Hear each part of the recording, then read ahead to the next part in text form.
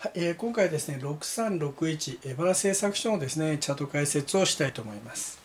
えー、この銘柄4月17日ですね出来高を伴って直近の高値をブレイクしてきてますね。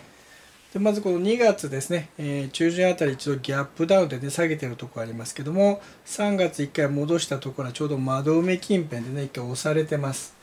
まあ、その後はね雲の加減がサポートしてね、え反転に転じましたけれどもえ、まずこの3月の高値を抜いてでなおかつ2月の高値もね抜いてきておりますのでで出来高もねしっかりとこうついてきていますので、まあ、押してきたとこは買いが入りやすいんではないかなと思いますね。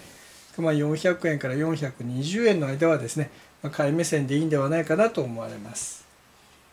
でチャートをこれちょっと月足の方で表示してますけども今現在ちょうど月足の雲の上限ですね。雲の上限のところでねちょっと抑えられてきてます。まあ、こう抜けてくるとですね、えー、当然、えー、2011年のこの高値495円ですね、あと2010年の高値507円というのがありますから、まあ、500円あたりがですね、ターゲットになってくるかと思います。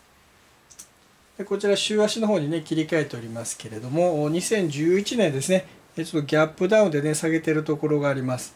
まあ、この窓埋め近辺はね、1回意識されますので、ちょうど430あたりになりますね。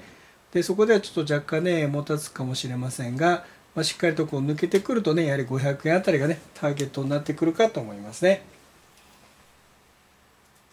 でもう一度冷やしの方にね戻りますけれども、まあ、下げてきてもですね転換線とか基準線でねしっかりとこうサポートしてくれればね問題ないかと思いますが、まあ、終値で基準線とか割ってくるとですねせっかく出来高伴って抜けてきたやつがね全部こう帳消しになってしまいますので、ま終値で基準線とか割ってくるとですねまた一体を考える人が出てくるかと思います。では以上でエバラ製作所の解説を終わりたいと思います。ありがとうございました。